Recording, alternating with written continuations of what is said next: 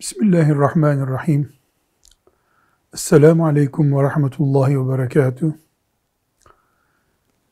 Değerli kardeşlerim, Allahu Teala üzerimizde imtihanını tecelli ettirdiği konulardan birisi olarak hastalıkla yakın bir zamanda bir imtihan geçirdim. 11 gün kadar korona teşhisiyle hastanede yattım. Birkaç gündür de evde dinleniyorum. Elhamdülillah Rabbime hamd ediyorum. Lütfetti, afiyetimi iade etti. Elhamdülillah ala kulli hal.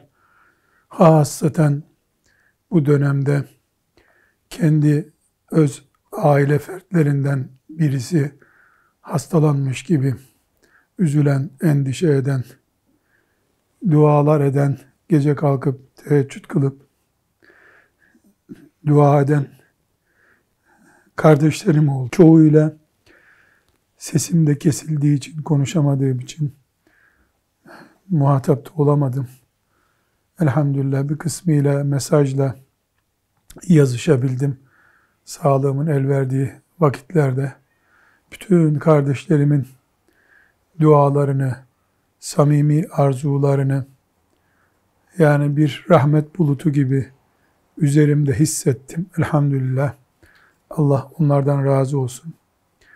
Çok güzel bir hekim kardeşimiz, kardeşlerimiz de yardım ettiler. Allah ellerinde şifa ihsan etti.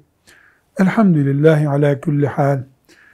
Rabbim bütün ümmetimizi hastalıklardan ve afetlerden muhafaza buyursun.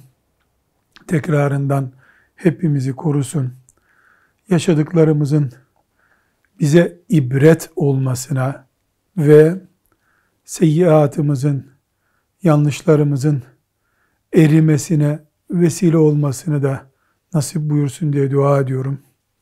Hasaten bütün kardeşlerime teşekkür ederim dualar ettikleri için ve iyileştiğimi duyunca da sevinçliklerini bildirdikleri için teşekkür ederim. Dualar ederim.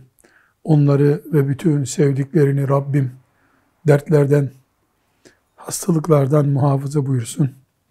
Hepimiz Allah'a emanet olalım. Esselamu Aleyküm ve Rahmetullahi ve Berekatuhu.